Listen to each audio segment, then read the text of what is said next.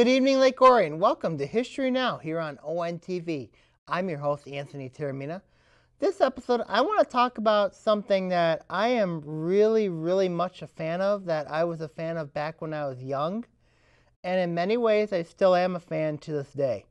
And that is a video game legend and also who's going to actually have its own movie come out in November of 2019, and that is Sonic the Hedgehog.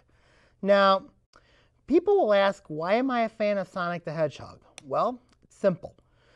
First things first, I love the hero villain concept. And um, back when I was younger, that was kind of one of the driving points between who was a, considered a hero, who was considered a villain, who was considered an anti hero.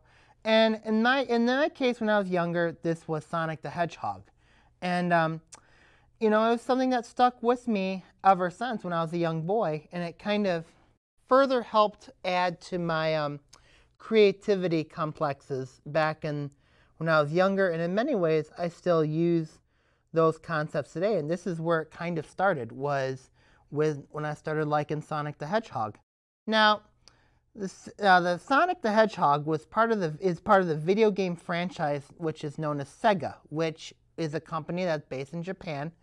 They needed to find a franchise character and to also to compete with Nintendo, who Nintendo had Super has Super Mario and um, Luigi and Koopa and or slash Bowser and Donkey Kong, and um, so the video game franchise, the character ended up being Sonic the Hedgehog. The concept, the concept of Sonic the Hedgehog was basically a blue hedgehog with supersonic speed, which was the which in the goal was to stop a mad scientist, which I will go over, which I'll go over when do, doing character descriptions, from taking over the world on world domination. Now, Sonic was first formed in 1991, and the first video game to ever come out from that from the Sonic the Hedgehog series was called Sonic the Hedgehog, based in from based off in June 23rd, 1991, which it really focused on two characters at that point, which was Sonic the Hedgehog and this mad scientist that was bent on world domination. Now, the characters I want to talk about is obviously I'll first talk about Sonic the Hedgehog. Uh, make mention briefly, he's a blue hedgehog with supersonic speed, with the intent of keeping peace and freedom in the gal in the in the world, and um, he also wanted to make sure that everything was was all right with the world, and he had supersonic speed, which he was one of the fastest at that time, the fastest in the world. So he had supersonic speed, and he also was very caring for his friends, very caring for his family, and he also his rival was um, the mad scientist known as Dr. Ivo Robotnik, who would go through several transformations and eventually become Dr. Eggman, which was focused on his goal, simply put, was on world domination and he actually became the main rival of Sonic the Hedgehog, and those two would fight and clash in multiple battles, not just in the video games, but throughout comics and TV shows. I mean, it was just that rivalry, you know, that created the concept of who was the good guy, who was the bad guy, and it also had animals to it too. Sonic was a hedgehog, and Robotnik was a mad scientist. Now, we would introduce other characters in um, 1992, a year, a year after 1991. Sonic 2 came out, and Sonic had an ally, which was a two-tailed fox named Miles Prower, also known as Tails. So Tails would often ally and aid Sonic. He also, we also had fly, two flying tails and would often fly Sonic whenever he needed to. And also Tails was quite a flyer. Tails would often fly the would often fly Sonic on an airplane, and um, just to further help Sonic in his battle against Dr. Robotnik to prevent to prevent world domination. Now, in 1994, two years later, we would have the introduction of a red echidna, a treasure hunter named Knuckles. Um, Knuckles' concept is pretty simple. Knuckles and Robotnik, at first, Robotnik would would aid Knuckles. Knuckles was considered a, um, treasure hunter, the guardian of the Chaos Emerald, which is a major green gem. And um, there would be seven of these emeralds. Knuckles was in charge of the main one. So Robotnik would deceive Knuckles and trick Knuckles into believing that he was an ally, that he would help protect, help aid. And Knuckles at this time was the head of, was in charge of the floating island and was guarding the Master Emerald. And Robotnik had said that Sonic was out to steal the Emerald, and this would cause several clashes between Sonic and Knuckles until Knuckles would realize that Knuckles was, dece- was deceived by Robotnik, and Knuckles would eventually end up aiding Sonic in his battle against Dr. Robotnik and his allies. Now, Sonic 3 was when we first find out about Knuckles. And, um, you know, Knuckles was aiding Robotnik at the time and um, trying to prevent Sonic from getting the emeralds. And also, we'd have a better version or better introduction of Knuckles in the Sonic and Knuckles video game as well, in um, which both of those were done in 1994. The goal was at that point was to have Sonic 3 and Sonic and Knuckles go together before they off the, before they decided to split it up, and it ended up having Sonic 3 and eventually with the Sega Gears with Sega Genesis, which was the first video, which was the first video set. Then you had Sega Saturn, and you know the goal was, and then you had and Sega Game Gear. You had the, um, you know, so once they had Sega, once they, you could also put both discs together, and you could have Sonic 3 and Knuckles, or also with Sonic 2, which you can combine Sonic 2 and Sonic and Knuckles, and Knuckles becomes a playable character in Sonic 2 having to fight Robotnik as well. Now, one of my more unique favorite characters was is Nack the Weasel or Fang the Sniper, which he is a purple bounty hunter bent on hunting for money.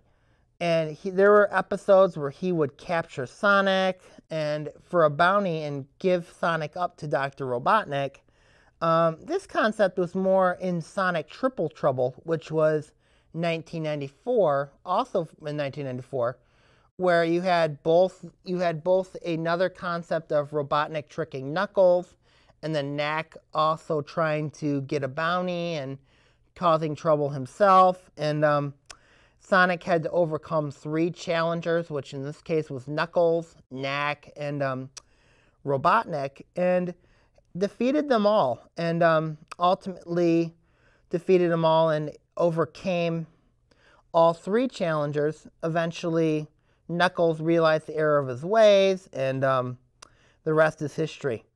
Um, when I come back, I want to talk about the continued success, which I'm going to talk about the comics version and also the TV adventures of Sonic the Hedgehog when we return to History Now here on ONTV.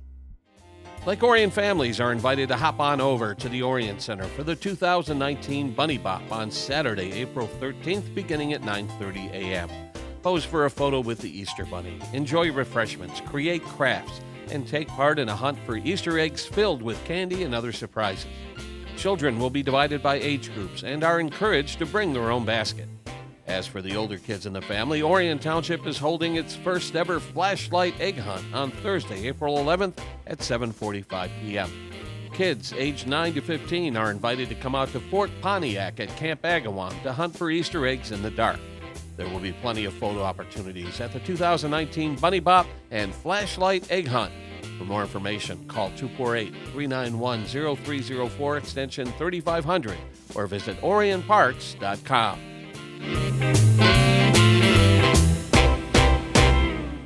Welcome back to History Now here on ONTV. I'm your host, Anthony Taormina.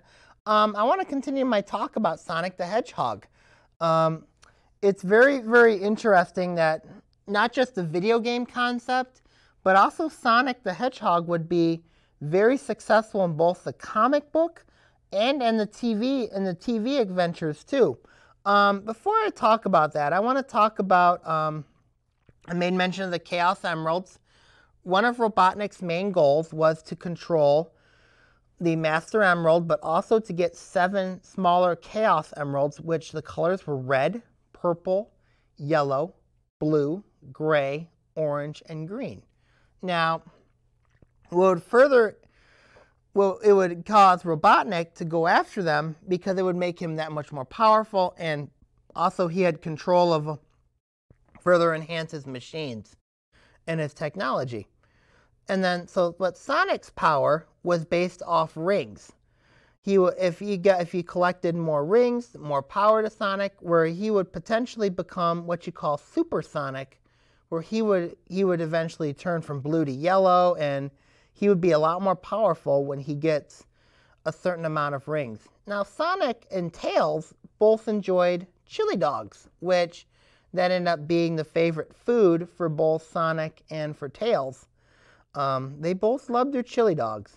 Um, in 1992, a couple things came out, and which was um, Archie, Archie Comics had a Sonic the Hedgehog series from 1992, which lasted till 2016, which focused more on, and I'll go over this show in a minute, but as a result of the Sonic 2 success, a TV show came out called The Adventures of Sonic the Hedgehog. Now, there was only one season of it, but it ended up being very, very entertaining. It was very funny. It appealed to kids but at the same time, you had the concepts where, you know, the hero villain concept was established, and you had the, um, you had some really, really funny, entertaining, um, you know, scenes where Sonic would dress up to fool the major villains. You had two robots, Scratch and Grounder, who were seen as allies of Robotnik. Um, Robotnik was um, yeah, at the end, he would always say, I hate that hedgehog, knowing full well that he was defeated. Um, Sonic and Tails would have some allies. Tails was in here too, because you got to remember, we're looking at Sonic 2 concepts. So, Sonic and Tails would often go on these adventures, either to antagonize or instigate Robotnik, or um, try to stop Robotnik from accomplishing his goals, which his goal was to conquer Mobius, which is the planet, in any way he could. And, and it was also, it was very, very light. It was very, what I mean light was, it was very mild manner. It was hilarious. It was funny. It was not, um, it was more, it was more on the lines of appealing to kids, younger kids. They would have an ending of Sonic Says, basically, where they would give kids, encourage kids to do the right things and teaching them what is right and wrong. I mean, it was just overall a great show. It went one season, but a lot of the episodes were entertaining. That even watching as a kid, they were really, really fun. Watching now, they were you still there's still some chuckles, still some laughs, and um, it was really, really exciting to see. Um, in 1990 in 1992, also we had the introduction of Archie Comics, which focused, which had a series on Sonic the Hedgehog, which went from 1992 to 2016, as I mentioned earlier. But they also introduced a newer, darker version of Sonic the Hedgehog, which focused on, instead of Robotnik being much more comedy, much more, it was a very darker version of Robotnik, who also went by his initially went by his name of Julian before denouncing and becoming Robotnik.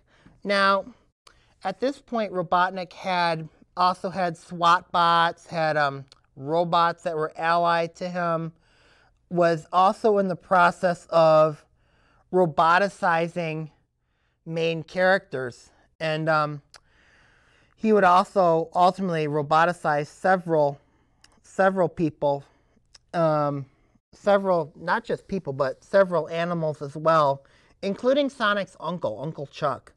He also had an ally, which was his nephew Snively, which he which which he would aid Robotnik, but also would ultimately later on turn against Robotnik. And um, when Robotnik a new version of him became Dr. Eggman, Snively would aid Dr. Eggman as well.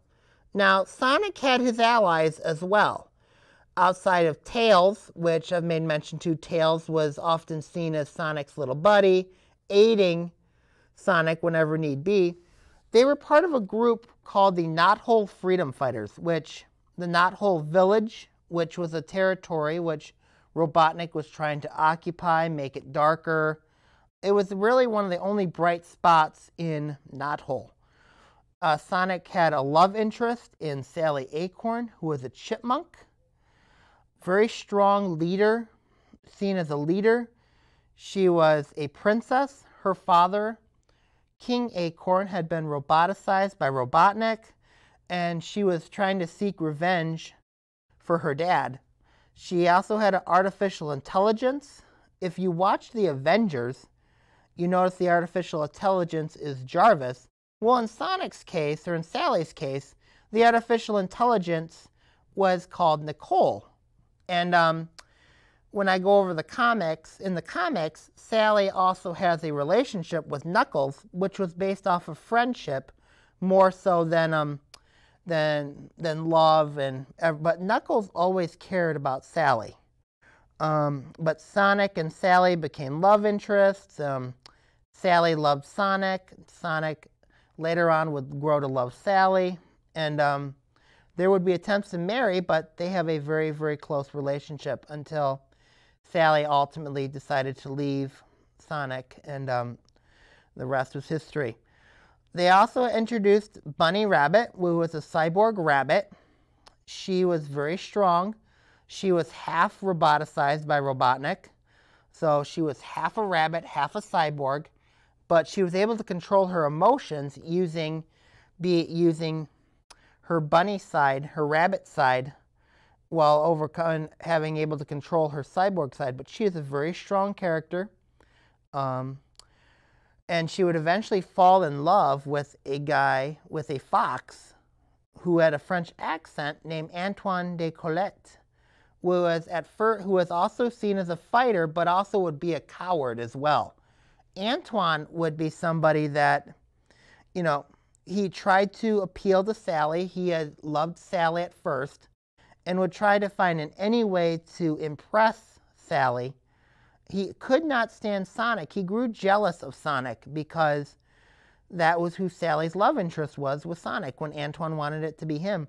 Antoine would grow to be the military general at first, and um, Antoine would also aid, would be aiding at times, but he also was seen as the the coward, but also the voice of reason at times. But eventually, Antoine and Bunny would fall in love with each other, and they would eventually marry and have children together. Uncle Chuck, I made mention, Sonic's uncle, he was roboticized. He would go against his nephew, but he would also aid his nephew once he had control of his mind and would often sabotage Robotnik's um, troops and allies. Um, also, we had um, Rotor the Walrus, who was um, intelligent, laid back. He was also a mechanic and an inventor. He often relates, related to Tails. Tails often hung out with him a lot. Um, he was very laid back. He lacked self-confidence, which was his one weakness was, but he was also very supportive, very friendly, aided when need to. Then the last ally was a young dragon named Dulcie. Dulcie, who who also had a knock for knowing when people were telling the truth or when they were lying. But she aided Sonic and Sally consistently, and um, more often than not, they would have two episodes, two seasons, not episodes, but two seasons of Sonic the Hedgehog, which went from 1993 to 1994. And that was where the success of the comic book came off of, which was Sonic the Hedgehog and the comic and the Archie comics, and those were how those were linked. Now, a lot of the video games became books. Sonic and Knuckles and Sonic Triple Trouble were two major ones that became that were that became they had different concepts, but they were also different. They also followed the same similarity reasons as their video game predecessors. The other one is Knuckles Chaotic, where Knuckles would have his own version of quote freedom fighters, but in this case they were defending the, fro- the floating island. Vector the Crocodile, Charmony Bee, Mighty the Armadillo, Espio the Chameleon, Archimedes, which was a fire ant.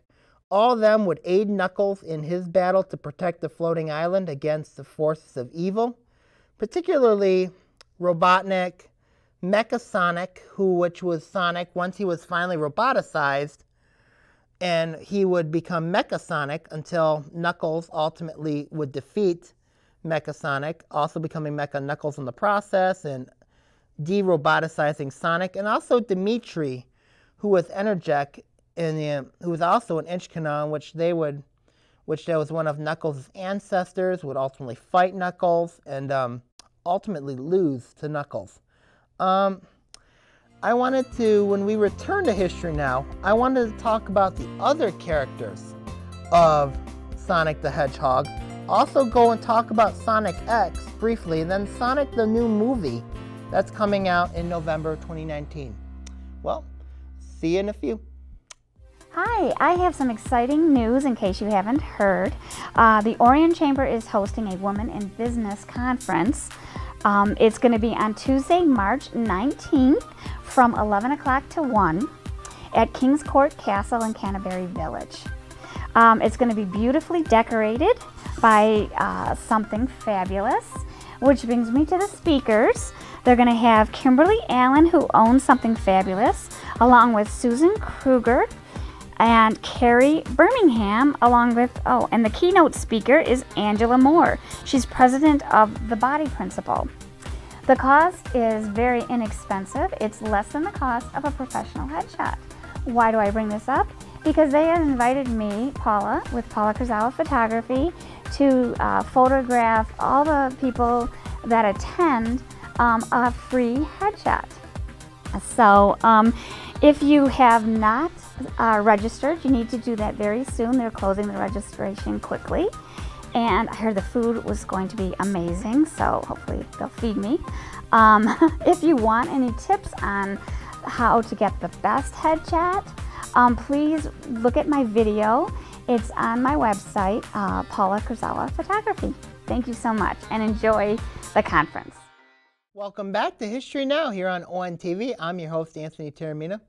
This one I'm having a lot of fun of because, as I made mention earlier, when I was younger, I always enjoyed Sonic the Hedgehog. So I wanted to talk to you guys, the viewers, about Sonic the Hedgehog and the history of Sonic the Hedgehog. Now I want to talk about some other characters that would occur later on during the, this is like 1992, 94-ish type of there are other characters. Amy Rose comes to mind. She is a pink hedgehog who would also eventually become Sonic's love interest as well. Now, Amy in the comics was a young hedgehog who was very sympathetic to Sonic, but then was often seen as a kid, but would eventually become Sonic's love interest in um, Idol, even though Sonic didn't feel that way about her. Other characters were Cream and Cheese. Cream and Cheese, though they were not fighters, Amy Rose was actually a fighter. She had a big hammer and she would hammer robots. She would hammer anything that moved, sometimes for good, sometimes for bad. Cream and Cheese were not fighters. They actually were helping whenever they needed to. They aided Sonic whenever they needed to. And um, this would be really, really important for Sonic because Sonic needed a lot of allies and they would also aid Sonic as well. Now, Sonic did have his fair share of new villains outside of Robotnik. slash Dr. Eggman, Rouge the Bat was a very deceptive bat, very similar to Nack the Weasel, where there was a a love for diamonds and chaos emeralds and jewelry. This was Rouge the Bat. Rouge was very much a sneaky, a lot like Madame Rouge. That's where the concept of Rouge the Bat came from. Very deceptive, but very cunning, very smart bat. A lady bat as well. Uh, she would also grow to become one of Knuckles' rivals as well. And um, she just was very, very, very sneaky. Uh, another major villain would be Shadow the Hedgehog. Would be Shadow ended up becoming a rival of Sonic's, and um, Sonic and Shadow would engage in several vicious duels. Shadow would end up becoming one of Sonic's rivals, just like when Knuckles was, just like when um, Nack the Weasel or you know or Rouge the Bat.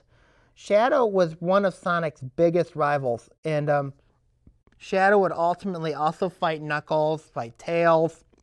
I mean, it was just you know, Sonic needed a rival, and Shadow ended up eventually becoming that rival.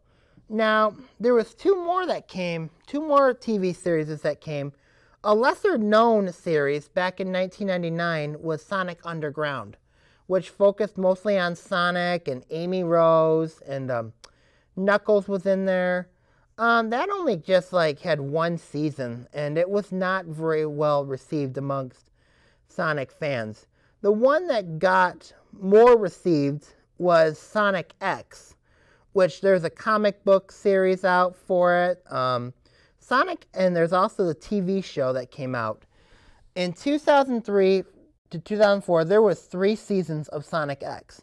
Now, the focal point is you had, at that point, you had Sonic, you had Robotnik, you had Tails, you had Knuckles, you had the Chaotic, um, I wish they would have had Nack the Weasel, but they didn't.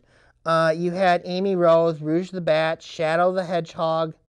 Uh, the Chaotic was in there. Um, but season one and season two of Sonic X, basically Sonic is allies, which was Tails, Knuckles, Amy, Cream and Cheese. We're all we're all involved in we're all sent into the real world thanks to Chaos Emeralds and Chaos Control. Sonic was put into a, a home, or was placed in a pool in a home with a character named Chris Thorndyke, the Thorndyke family, who was rich. Um, eventually, the um, his grandfather got involved in knowing the secret. Eventually, the butler knew the secret, and um, so Sonic, Tails, Amy Cream and Cheese basically lived with the Thorndykes for a while. Um, Knuckles was originally very much a um, treasure hunter on his own. He often would get dece- dece- deceived by Robotnik. Um, was very much determined to return home. Um, and then also Rouge the Bat was there, end up working with the FBI. Um, but the goal was to return home and um, throughout seasons one and seasons two, which would ultimately go from like episodes one to episodes 51, where they would talk, where they would look at the goal of returning home. Um, I truly enjoyed this because it was really the, um, you know, it kind of like you had that hero villain concept of Sonic and Robotnik and having to overcome Robotnik, or who was Dr. Eggman at the time. And um, Ultimately, the characters would return home except for except for Sonic until Sonic eventually returned home, and um, eventually Chris would enter their universe, which leads to season three, which which was at that time. I was not a fan of the of season three because I didn't like the whole Metarex concept uh, that focused around a character named Cosmo, who was an alien.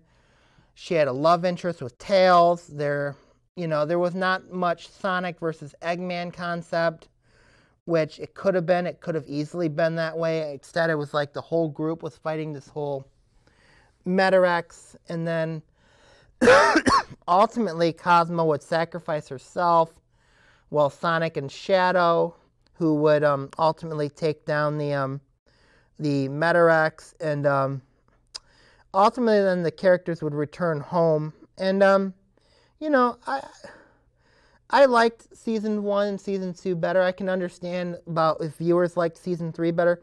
I would definitely recommend Sonic X. I think that it's pretty good. Um, a lot of the um, a lot of Japanese because review it with skepticism, even though it was originally made in Japan. It was intended to appeal to the United States. So, um, but I would definitely recommend it. It's um, interesting. Um, it's not dark. It's not um, it's not dark as Sonic the Hedgehog was, but um, but I, I mean it's it's a good watching if you wanted to watch a few episodes. It does appeal to kids too, so um, I definitely recommend it. Um, in November of 19, uh, 2019, there will be a new movie coming out called the Sonic the Hedgehog movie, which will focus on Sonic and Robotnik slash Eggman, and um, you know, it, I'm curious to see what when it comes out. Um, you know, Sonic's legacy still continues today. The hero villain concept, uh, the introduction of new characters. Some of them have succeeded in making the main characters better. Some of them have not. Um, you have the Archie comics, which further introduces the characters. Several TV shows. Uh, they're all pretty good. I would recommend you to watch it. Um, and uh, the Sonic, the Sonic legacy still continues today. Um, I would encourage if any, if, if kids are younger, to go into Sonic the Hedgehog, or I would also recommend with Mario and Luigi and you know, or the Nintendo characters. I mean, it's it's a really really good, um, good starting point if you're really wanting to focus on um, you know, hero and villain concepts and just a really good introduction into the creations, uh, the fantasies of creative being creative. Um, well, that will do it for this episode of History Now. I encourage you to watch future episodes. Have a great night, Lake Orion, and see you soon. Take care.